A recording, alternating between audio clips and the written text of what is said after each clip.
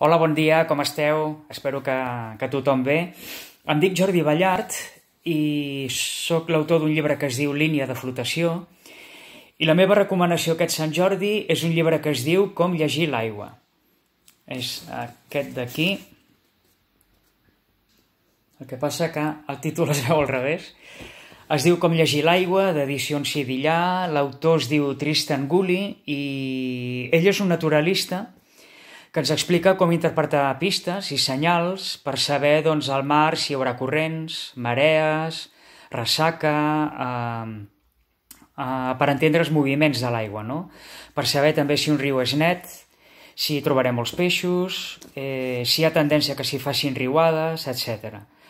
Eh, I el que és curiós d'aquest llibre és que ens explica com, com deduir o com entendre aquests moviments de, de l'aigua eh, simplement fent coses tan senzilles com bufant sobre una tassa de te o mirant un vessal d'aigua després de la pluja. No?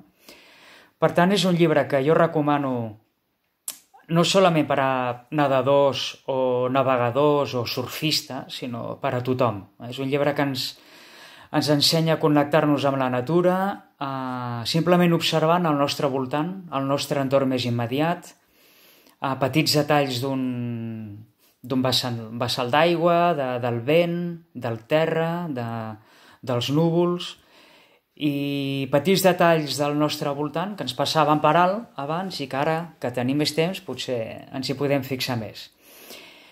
En definitiva, és un llibre molt interessant, amb moltes curiositats i molta informació i totalment recomanable.